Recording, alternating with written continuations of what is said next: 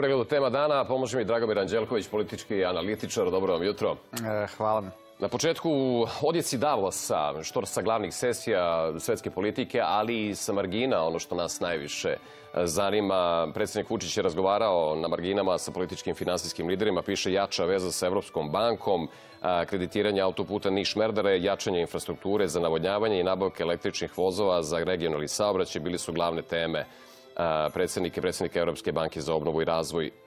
Šta u tom smislu možemo da očekujemo? Pa Europska banka je već ozbiljno prisutna u Srbiji na razne načine i svakako je izvor povoljnih sredstava. Znači, povoljnije je zaduživati se kod Europske banke za razvoj nego kod e, bilo koje komercijalne banke. Drugo, to je banka koja je poznata po podršci e, javno, javno privatnim projektima. Primjer, radi koncesiju za aerodrom Nikola Tesla. Ona je podržala. Tako da e, svakako nam je bitna saradnja sa Europskom bankom i drugo, to je jedna vrsta pozitivnog svetla za druge investitore. Kad imate dobre odnose sa takvim institucijama, šaljete pozitivnu poruku i privatnim investitorima. Tako da svakako je to važan susret, ali generalno gledano, kad pričamo sad o Davosu, Davos ove godine na neki način reflektuje sve geopolitičke podele u svetu.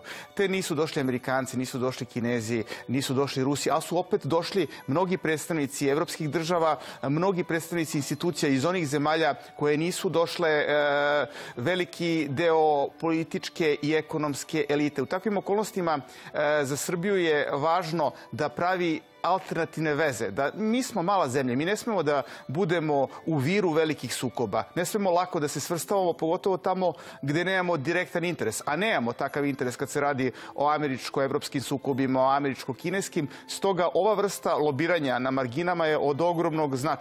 I kad se radi o regionalnim odnosima, kad se radi o globalnim i konačno, to je prilika da Srbija pokaže da je zemlja odmerena i tolerantna, da i kad se ne slažemo oko nekih stvari možemo da pričamo. E, to, o tome, o tome svedoče susreti sa regionalnim predstavnicima, jer ako kriza kulminira, kulminira u momentu od Kosova do Bosne i Hercegovine, mi moramo da branimo čvrsto svoje interese, ali opet važno da smanjimo prostor da nas neko nabedi da smo mi krivi. A baš takvim neformalnim susretima, dobrom voljom, e, ono sve što čine male stvari u životu e, daje velike političke rezultate. Ali od nas je za vitalnog značaja. Govorit ćemo i o Bosni i Hercegovini za nekoliko minuta, ali pre svega Johannes Hahn je poručio imam predlog za Vučića i Tačija. Podao sam predlog prema kome bismo se zajedno pozabavili svim relevantnim trgovinskim pitanjima koje se tiču Srbije i Kosova. Spreman sam da predvodim takav razgovor i to bi bio temelj za pretpostavku da je moguć nastavak dijaloga. Uveren sam da se možemo uhvatiti u koštac i da se dijalog može nastaviti do kraja godine. Da li je to optimistično?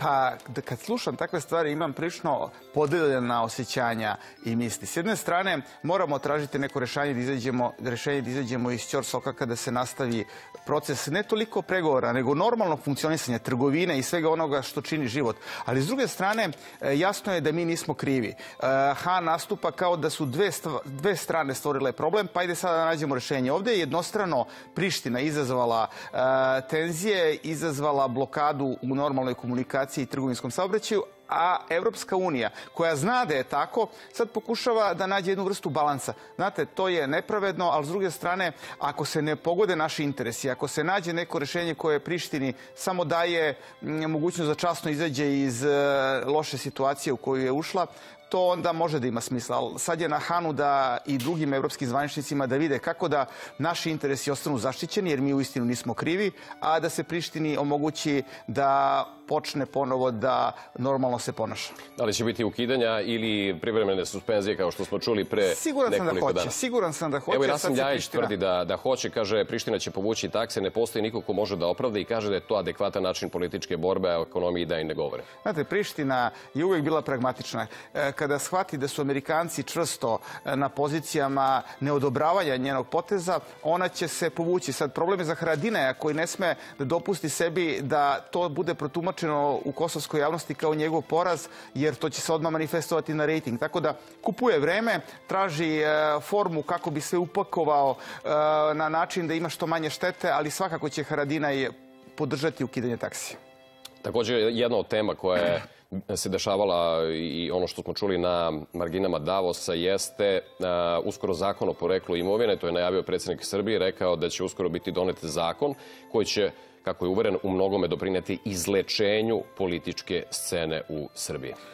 Ja mislim da nama svakako treba zakon o poreklu imovine, ali mislim da moramo biti jako bazrivi s tim zakonom. Zakon pre svega treba da bude usmeren ka osobama koje se vršile javnu funkciju. Znači ka političarima i drugim predstavnicima tog širok političkog kruga. Jer, znate, e, mi smo imali sankcije 90-ih, imali smo opšti haos, tranziciju. U takvim okolnostima sigurno mnogi mali privrednici, sigurno mnogi obični ljudi, od onih koji žive u inostranstvu, morali su da funkcionišu na način koji nije potpuno u skladu sa zakonom. Svi znamo kako se nekada donosio i novac od rođaka, e, kako su se menjale devize, ali jedna je stvar običan život, druga su stajkuni i političari. Otuda e, zakon treba pre svega tako da bude pozicioniran da se njihova imovina proverava. Kad se radi o drugim građanima, da nema tu vrstu e, dejstva ka, usmerenom ka prošlosti, već da se podvuče crta i da u buduće znamo svi da moramo da plaćamo poreze.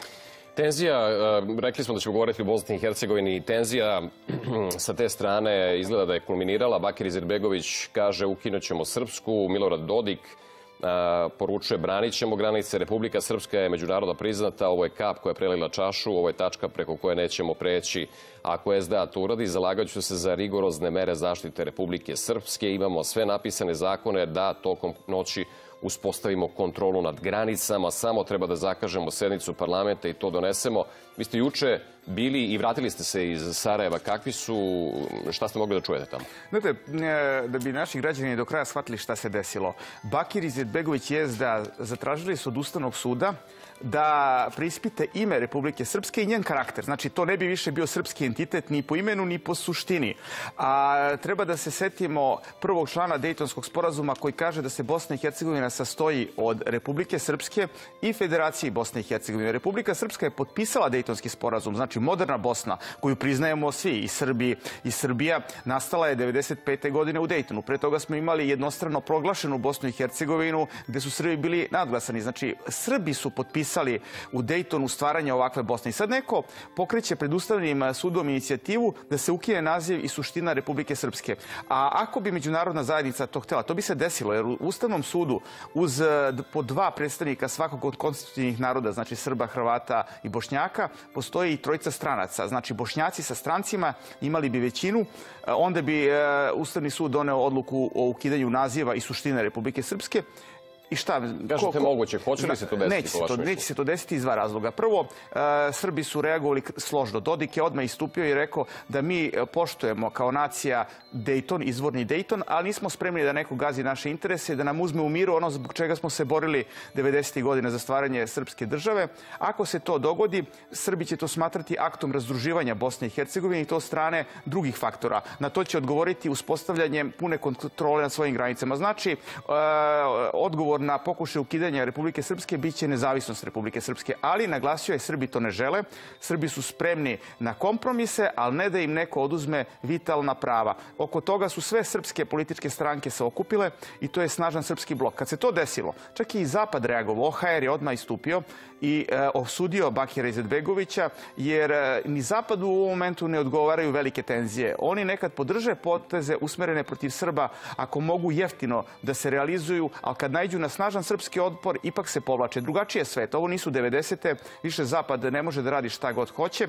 A inače, u Sarajevu postoji mišljenje da iza ovoga svega ne stoji ipak zapadni krugovi, već Turska iz nekog svog razloga da ponovo pokaže da je faktor koji se pita. Nedavno smo imali izjavu Erdogana da je vreme da se prispita Dejtonski sporazum i odmah posle toga Bakir Izetbegović na ovaj način nastupa. To je više pitanje odnosa Turske i Evropske unije, pokazivanja mišića ko može da zapali region, nego nešto što se direktno odnosi na nas. Naravno, mi smo žrtve.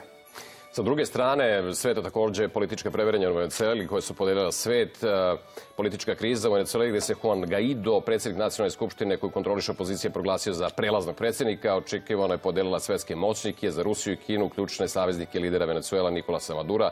Pokušaj da se silom preuzme predsjednička funkcija potpuno su ilegalni. Pa znate, meni ovo deluje fascinantno da se Guaido sam proglasi za predsjednika, iako su ne tako davno bili predsjednički izborima na kojima je pobedio Maduro, i da onda neke zemlje, kao što su Amerika, e, odmah njega priznaju za predsjednika i podrže. Pa to je fascinantno. Znači, svako može ko e, nije zadovoljan vlašću u bilo kojoj zemlji da se proglasi. Zamislite da se sada predstavnik demokratske stranke u Sjedinjim američkih država proglasi za predsjednika i sada da ga neko prizna. Ili da se tako nešto desi u Francuskoj kad se radi o, o protestantima, o ljudima koji se sada suprotstavljaju Makronu. Naprosto institucije moraju da se menjaju na legalan način. Ja ne kažem da Madurova politika je u redu. To je sad stvar za Venezuelu i njene građane. Evo, Južno američkih država pozdravila je najavljene promene. Logično, Evropska unija traži nove izbore, Rusija, Ali s druge Kina, strane, Rusija, Kina, e, Meksiko, e, Turska, znači pola sveta podržava Madura. Znači nije dobro da se svet deli oko toga ko je lider jedne zemlje. O tome treba da odlučuju građani te zemlje.